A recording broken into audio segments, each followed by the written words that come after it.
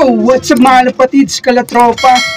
For today's video is ituturo ko sa inyo kung paano magbasa ng feather ng pakpak. Kung ilang buwan na sila mga kalapatids, kalatropa. Kaya gusto nyong malaman? Tara, samahan nyo ako. Let's go!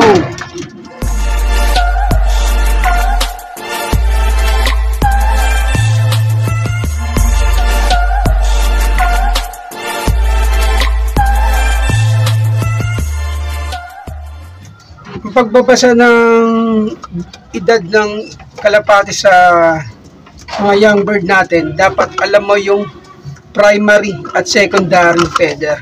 Kaya gusto mong malaman, eto, sasabihin ko sa Malalaman natin yung pakpak ng kalapati natin kung ilang buwan na. May kita mo sa dalawang young bird natin ng superset ng South. May kita mo yung ibon nating dalawa, mga latropa. Ayun no, isa bis na. Yung isa, naglulugong pa lang. Pero magkasing edad dyan sila. Nakikita mo yung bagwis nila. May kita mo yung pakpak nila. Patubo pa lang. Ayan o, mga lapatid. So, yan yung pakpak nila. Oh. Ayan o. Nakikita mo, bagong tubo pa lang. Yan o. Same sila ng pakpak ng tubo. Yan o, makikita mo. Isa lugon pa lang. Isa, medyo bis na. Kasi merong mga young bird na matured, lalo na yung genes nila maaga nagmamatured. Kaya makikita mo sa kanila yung same ng feathers nila kung ilang buwan na sila. Makikita mo, ma papakita natin sa inyo mamaya kalapatids kung ilang buwan na sila. Kaya yung mga fighter nating nilalaban, makikita natin sa kanila. Kaya ipapakita ko sa inyo kung ilang buwan na talaga sila. Ayan o. Kagaya na lang ng brown na to mga alapads kalotropo. Ayan o naglulugon pa lang, hindi pa bihis. May kita mo sa bagwis ng pakpak nila. Eh no, malalaman natin kung ilang buwan na sila. Nakita nyo mga latropa. Yan no, tatlo na yung bagong bagwis niya. Eh no, kung bibilangin natin ulit, 1, 2, 3. 3 feathers na yung bago. Ibig sabihin to, 3 months na tong young bird na to. Yan o bibilangan natin hindi pa naglulugon. 4, 5, 6, 7, 8, 9, and 10 yung last feather. 10 feathers na yan. Ibig sabihin yan, 3 months na siya. Yan na, 3 months na siya kasi tatlo na yung naglugon sa kanya. Tatlong pakpak na yung bago. Makikita mo sa kabila rin, tatlo na yung bagong pakpak niya. Yan na, mga kapatid. So, ito na. Oh. Ito yung bago niyang pakpak. Tatlo. Kaya titingnan din natin yung isang ibon na blue bar na kasama niya kanina na bis na. Yan o. Oh. Siya naglulugong pa lang. Kaya yung blue bar, bis na bis na. Pero magkasing edad lang sila. Titingnan natin kung yung feathers nila tugma. Yan mga kapatids. Ito yung kasabayan ng red bar kanina. Ito yung young bird natin ng superset ng South. Pakita mo yung ibon, bis na bis na. Tapos yung feather niya is luma pa. Yan o. Oh. Mapapansin nyo, luma pa talaga. Meron pa siyang feathers na limang ibabagsak. Yan o. Oh. Tulad niyan, bis na siya. Pero yung feather niya is lima pa. Ibig sabihin nito, 3 months old pa lang yung ibon na to. Pero maaga siya mag-matured. Hindi kasi natin siya makita dito sa balahibo niya. Tsaka sa feather niya. Kasi lima na yung binagsak ng feather niya. Kasi may jeans nga na ito na mabilis mag-groom. Mabilis siya mag-matured. Gaya iba na ito. Kasing edad lang to ng red bar natin kanina. Kasing edad lang siya. Pero yung red bar is tatlo pa lang yung binabagsak. Ito, lima na binabagsak niya pero 3 months siya. Malalaman natin kasi pag yung last feather niya is 7 months, stag na siya. Yan no. Lima pa yung luma niyang pakpak. Ibig sabihin, wala pa siya sa 5 months or 6 months. Hindi may kita kasi yan sa itsura ng ibon. May kita mo kasi yung ibon kung stag na is last feather na. Kaya papakita ko sa inyo yung 1 month old na inakay. Nakaalis lang natin sa magulang niya. Kalalagay lang natin sa flying pen. Kaya papakita ko sa inyo yung edad ng young bird na kakawalay lang. Kaya ito, hindi mo makikita sa ibon na to na inakay pa siya kasi matured na siya, matured na. Maaga siya nag-groom, maaga siya nagbibihis, pero makikita mo pa rin sa bagwis ng pakpak niya is young bird pa talaga siya. Ayan no, hindi mo pa ibabagsak niya.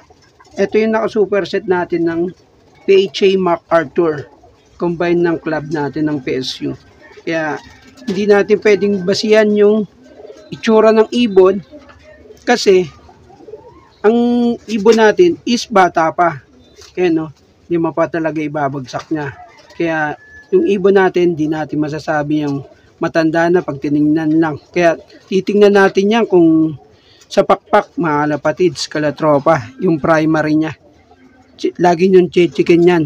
Kaya para pagdating ng derby, hindi kayo nahihirapan sa mga last lap. Kaya lagi nyo chichikin yung primary feathers niya. Kung tapos na. Tsaka yung last feather niya. Kaya papakita ko naman sa inyo yung one month old nating young bird. Ito naman mga lapatids, yung young bird natin ng South Den. Ito, kawawalay lang natin sa magulang. Ayan o. Pag winalay na natin sa magulang yan, ibig sabihin yan, ang edad niyan, one month na. Ayan o. One month na siya. Kakatanggal lang natin yan sa magulang. Yan o, one month na siya. Ganyan ako magkalas ng inakay sa mga breeder natin. One month natin. Para yung 20 days natin sa inakay na naibigay ng magulang yung gatas. Kasi kailangan ma-absorb ng inakay yung gatas na 20 days. Kaya 30 days natin kinakalas yung inakay. Paano natin paano natin malalamang yung inakay one month na kasi nakikita pa rin yan sa feather natin mga lapatids. May kita mo ang young bird pag one month na yan, eh no, naglulugo na agad yan ng isang feather na may kita mo bagong tubo mga tropa. One month na siya, naglulugo na siya. Yan no, kita mo. Yan, ganyan ng kalapate. May kita mo agad, buwan-buwan siya, naglulugon. Kaya merong mga inakay na mabilis mag-matured na mga mabilis sila magbihis, merong mga late na groomer. Depende yan sa bloodline at genes. Kaya pag ang inakay one month pa lang, may kita mo agad naglulugon na yan. One month pa lang. Ayan o. Oh. Tama na. Yan. One month old, naglulugo na ang ibon. Nagla, nagbabagsak na siya ng feather niya sa pakpak. Kaya, doon natin malalaman kung ilang buwan na yung panglaban natin na superset, mga lapatids, kalatropa. Doon natin makikita, ang basehan natin kasi yung pakpak. Kaya papakita ko naman sa iyo yung 5 months na kalapati natin. Ito na mga kalapatids, ituturo ko na sa inyo yung pagbabasa ng feather sa pakpak kung ilang buwan na sila. May kita mo mga latropa. Lagi mo sa pakpak may kita yung edad ng ibon. Kagaya niya, no? Bis na bis na siya. Ganyan. Kasi pag yung feather niya, dalawa na lang natitira, yan mga lapatids, kalatropa, is 5 months, going to 5 months. Pag ganito yung feather nyo, ganito yung feather, dalawa natitira. Ito yung 6 months, tapos ito yung 7 months, mga lapatids. Kaya yung dalawang feather na yan, kadalasan yan, tumatama sa derby, mga latropa. Kaya pagdating ng ganyan, para hindi ka sumablay sa derby, is gagawin mo, ipepedering mo na sila. Kaya pagdating ng derby, October, October, tapos ito, November, kadalasan last feather is November, last lap ng derby. Kaya ipepedering mo na sila, mga tropa. Para iwas ka ng sa last lap magkaroon ng aberya. Kaya pa lang, kaya training pa lang, o kaya bago ka mag-training, ay napedering mo na yung jet fighter mong panlaban. Kaya ayan o, 6 months, tapos 7 months mga lapatids last feather niya is 7 months na siya. Doon may kita kung stag na yung ibon. mga na tropa. Yan o. Kung stag na. Kasi pag last lap na, magbabagsak na siya ng pakpak, doon pa lang sablay ka na, kalatropa. Kailangan maipedring mo sila. Kailangan marunong ka mo sa diskarte. Yan o. 6 and 9 and 10 feathers. Kailangan ipedring mo yan. Kasi yung 10 feathers na yan, ayun yung pinaka-stag ng ibon natin. Diyan siya nagiging 7 months. Yan o, 7, month, 7 months old, 9 and 10. 6 and 7 months sila. Yung 9 or 10. Kaya pagdating ng derby, pinipedring yan mga latropa. Para sa last lap, hindi ka na magkaamali. Hindi ka magkaroon na aberya pagdating sa arera. Kaya kailangan madiskarte ka pagdating sa arera. Bago pa lang mag-training ng isang buwan, kailangan nakapedering ka na. Pero kung kabisado mo naman yung bloodline mo, kahit sa training pwede ka na mag-pedering. Kagaya ng ginagawa ko, sa training ako nagpe-pedering mga latropa. Kasi niiwasan kong bumilis yung ibon. Pero try nyo kung paliparin. Kung hindi lumilipad, eh wag nyo nang paliparin. Pero pag ako nagpedering kasi sa training, pinaparonda ko yan sila eh. Kasi meron kasing ibon ng mga mabibilis na ibon. Kaya ginagawa ko, pinipedering ko yun sa training. Para hindi sila, bum, hindi sila bumilis. Kaya pagdating sa derby, doon na yung ibon ko mabibilis dating sa derby. Doon na sila umataw kasi yung pagdating ng derby, one month lang naman tubo ng pakpak. Pagdating ng derby, doon mo makikita yung ibon. Ang bibilis pagdating ng ibon ko sa derby. Yan, yan o. Oh. Yun lang mga lapatids, yung tip ko sa inyo. Yan.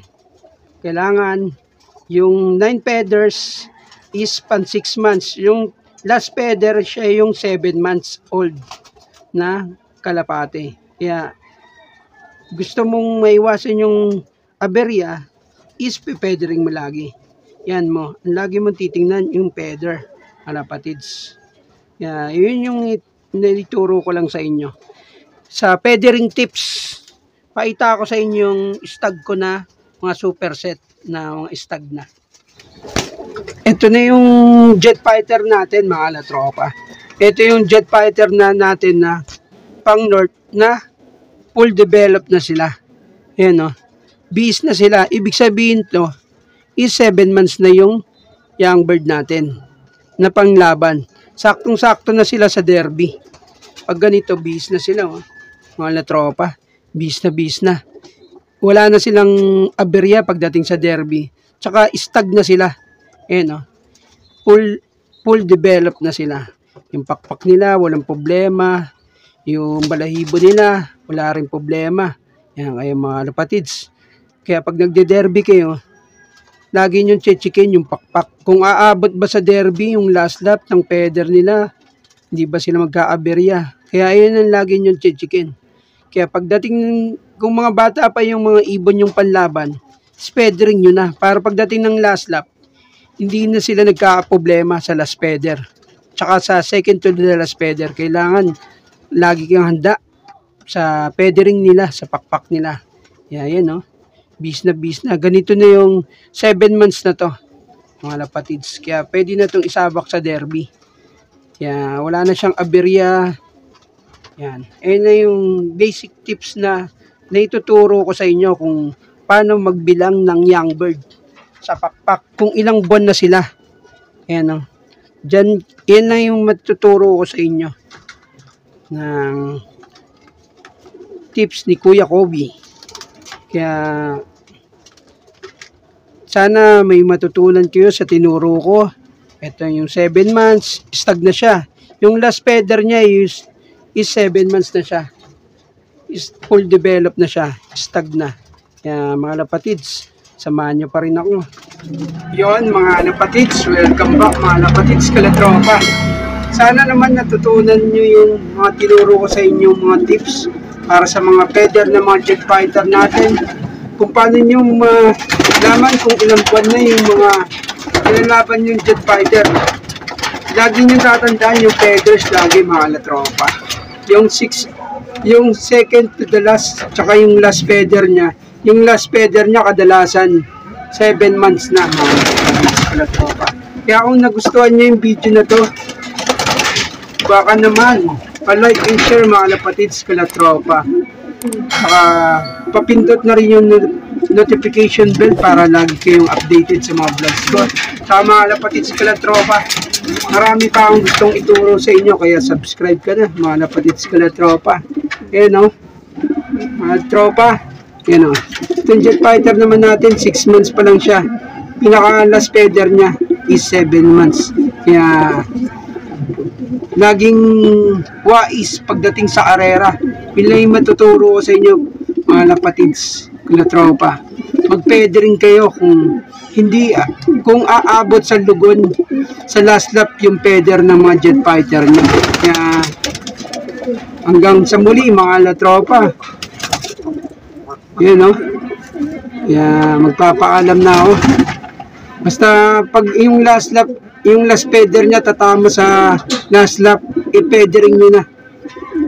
Bago pa lang kayo mag-training. Magbilang na kayo, October, November, kailangan, pag tumama tong dalawang to, i-feathering mo na sa October, November ng Derby ng North. Kaya, Magpapasalamat ako sa mga walang sawang sumusuporta, mga lapatids, kalatropa. Yun ang may tuturo lang, may tuturo ko lang sa inyo, kalatropa. Maging wise kayo sa bawat karera nyo. Laban lang ng laban, walang susuko, mga kalatropa. You know? Tsaka shoutout na rin sa team ng PSU. Yung club na hawak ko kay shoutout kay Sir Alan Bado.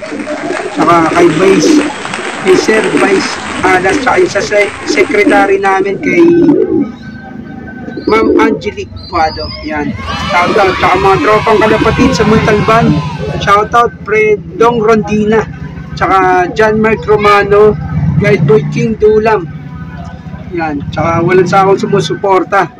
Mga latropa, hindi ko na kayo may isa-isa. Sa susunod na vlogs ko, iba-vlogs ko kayo. Kaya, babay mga lapatids. Papaalam na ako. Bye-bye, kalatropa. Bye.